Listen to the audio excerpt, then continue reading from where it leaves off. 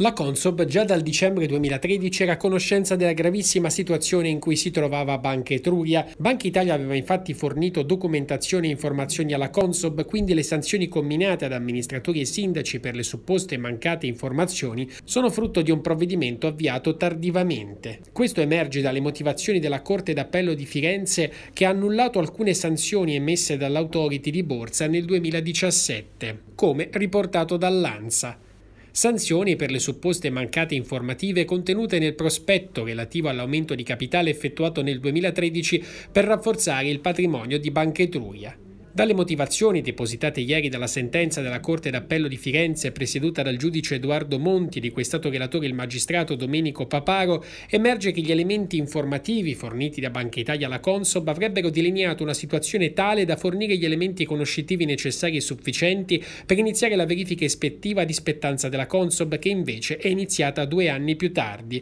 solo dopo la risoluzione della banca, evento che ha avuto notevole clamore mediatico. In sostanza si legge nelle motivazioni informazioni citate anche dall'agenzia La Press, essendo Consob venuta a sapere da Banca Italia il 6 dicembre 2013 che Banca Etruria era sull'orlo del commissariamento, a meno che non si fondesse con una banca più grande, delle due l'una o si riteneva o quantomeno si sospettava che il prospetto pubblicato pochi mesi prima non avesse dato contezza di ciò e quindi sarebbe stato falso e fuorviante, ma allora Consob doveva cominciare subito l'indagine, oppure, proseguono i giudici, si accertava che il prospetto aveva rappresentato correttamente al pubblico degli investitori la situazione economica della banca emittente, ma allora non si poteva irrogare alcuna sanzione.